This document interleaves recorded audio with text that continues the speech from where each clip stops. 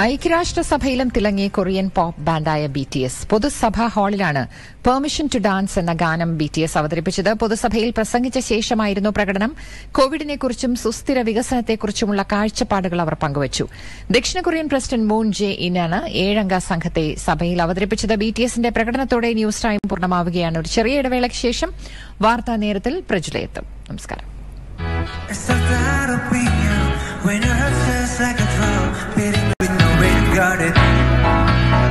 When it all seems like it's wrong, say louder out the joint to that feeling we're just getting started.